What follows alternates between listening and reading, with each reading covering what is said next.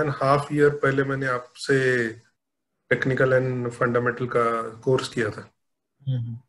तो तब तक मुझे अभी ये तक याद नहीं कि मैंने कभी पैसा लूज किया है। हम्म, हाँ अभी एक एक आध दो इंसिडेंट्स हो सकते हैं कि जिसमें मैंने स्टॉप लॉस पे निकल गया।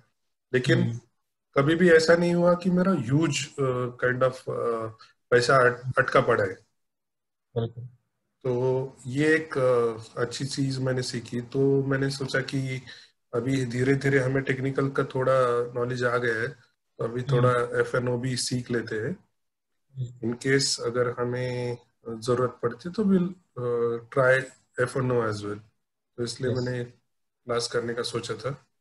हम्म, और स्ट्रेंथ के बारे में अभी जैसे विक्रम ने बोला कि आपका नॉलेज ही स्ट्रेंथ है। तो हमें बहुत सारी चीज़ें आपके व्हाट्सएप या टेलीग्राम से ही पता चल जाती कि कौन सा मतलब हमें सिलेक्शन करने की भी ज़रूरत नहीं पड़ती है कि जाके सिलेक्ट करो स्टॉक तो आपने दिन भर में दो या तीन स्टॉक बता दिए और वो हाँ। भी ट्रैक किया तो भी हमारा प्रॉफिट वैसे भी निकल जाता है